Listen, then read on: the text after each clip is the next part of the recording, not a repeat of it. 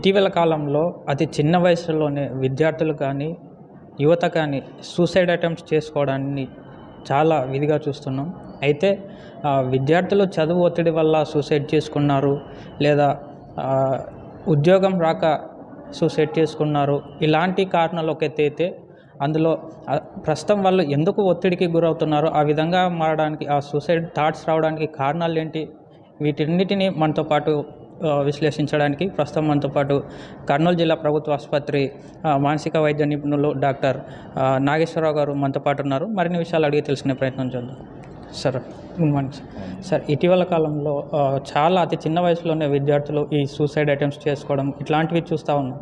అసలు వీటన్నిటిని ఈ విధంగా విద్యార్థులు ఒత్తిడికి గురి కావడానికి కారణాలు ఏంటి ఉంటాయి సార్? ఇప్పుడు అదే ఇప్పుడు అంటే గతంలో ఉన్న పరిస్థితికి ఇప్పటికి కొంచెం మార్పులు ఉన్నాయి అంటే కుటుంబ పరంగా కానీ తర్వాత చదువు పరంగా కానీ ఈ విషయాల్లో మార్పులు ఎందుకు వచ్చినాయి? సమాజంలో ఏ విధంగా మార్పులు వచ్చినాయి అనేది పక్కన పెడితే ఇప్పుడు ఏ విధంగా జరుగుతూ ఉందంటే ఇప్పుడు తల్లిదండ్రుల పెంపకంలో ఏముంది? పిల్లలకి బాగా చదువుకోవాలి ఉద్యోగం చేయాలి ర్యాంకులు వచ్చి రావాలి అనేది ఒక కాన్సెప్ట్. సో వాళ్ళు ఆ పరంగానే ఉన్నారు. సో అప్పుడు దానికి సంబంధించింది ఇప్పుడు స్కూళ్ళు కానీ కాలేజీలు కానీ వాళ్ళు కూడా మేము అయితే మా దగ్గర చేరితే ఈ విధంగా ర్యాంకులు వచ్చే అవకాశం ఉంటుంది అనేది ప్రమోట్ చేస్తున్నారు. ఇక్కడ ఏమవుతుంది? ఇక్కడ తల్లిదండ్రుల యొక్క డిమాండ్ ఏముంది? ర్యాంకులు జాబ్ వాళ్ళు సప్లై చేస్తున్నారు. అదే మన కాలేజెస్ కానీ స్కూల్స్ కానీ. కానీ ఇప్పుడు నెక్స్ట్ రేపొద్దున భవిష్యత్తులో పిల్లోడు ఎదుగుదల పెద్ద అయిన తర్వాత రేపొద్దున సమాజంలో ఉద్యోగం చేసినా ఉద్యోగం చేయకపోయినా సమాజంలో బతకాలి. బతకాలంటే ఉడిదుడుకులున్నా ఎదుర్కొని నిలబడే అవకాశం అనేది రావట్లేదు. ఎందుకంటే పెంపకంలో అది లేదు. ఈ స్కూల్లో లేదు ఇంట్లో లేదు.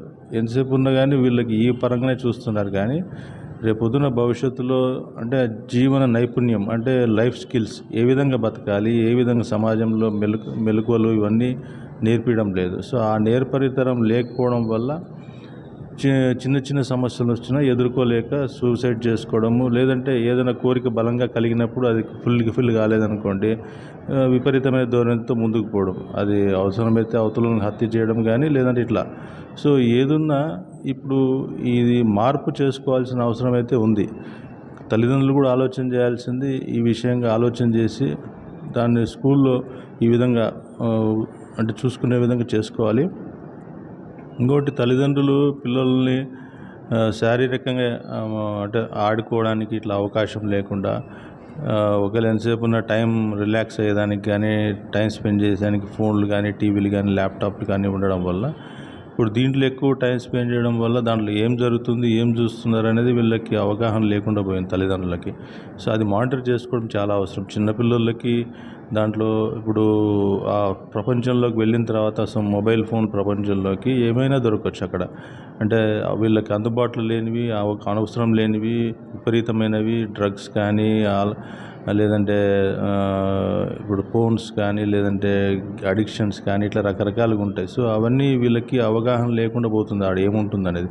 అందుకు ఇవన్నీ కంట్రోల్ చేసుకోవాలి. ఆ ఫోన్లో ఒకవేళ పేరెంట్ కంట్రోల్ యాప్స్ ఉంటాయి అవి ఇన్స్టాల్ చేసి వీళ్ళు రెగ్యులేట్ చేసుకోవచ్చు. వాళ్ళకి ఎంత అవకాశం ఉందో అంత అవసరం ఉందో అంతే చూసుకునే విధంగా. సో ఇవన్నీ కట్టుదిట్టం చేసుకుంటేనే పిల్లల భవిష్యత్తు బాగుంటుంది. సార్ ముఖ్యంగా మీరు చెప్పండి. మీరు అనుకునేది అంటే పిల్లలు ఈ రకంగా తయారు కాకుండా ఉండాలంటే తల్లిదండ్రుల పాత్ర ఏ విధంగా ఉండాలి? అటు వచ్చేసి స్కూల్లో కానీ కాలేజెస్లో కానీ విద్యా బోధన చేసేటటువంటి వాళ్ళ పాత్ర ఏ విధంగా ఉండాలి? అంటే విద్యార్థులకి ఏ విధమైన మోటివేషన్స్ చేస్తూ ఉండాలి?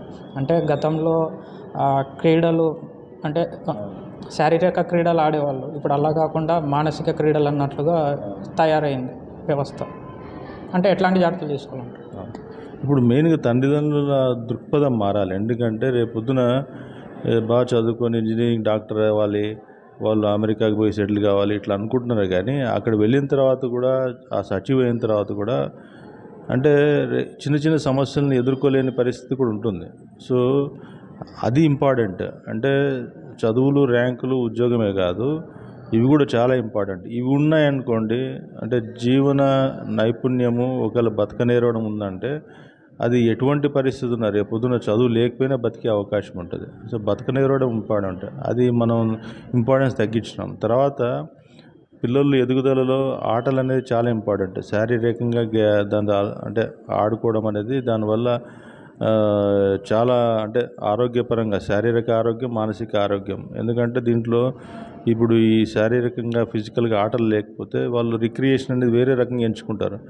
డ్రగ్స్ ఆల్కహాల్ నికోటిన్ ఇట్లా పోయి ఆ రిక్రియేషన్ అనేది వాళ్ళు ఆ విధంగా పోయే అవకాశం ఉంటుంది. సో ఆటలు అనేది చాలా ముఖ్యమైనది. ఇది మనం చాలా నెగ్లెక్ట్ చేస్తున్నాము. కానీ ఓవరాల్గా సమాజం దృక్పథమే మారిపోయింది. ఇప్పుడు సమాజం దృక్పథం మారాలి ప్లస్ ఈ విషయంలో ప్రభుత్వ పరంగా కూడా కొన్ని నిర్ణయాలు తీసుకొని ఎగ్జిక్యూట్ చేసే అవకాశం ఏర్పడాలి.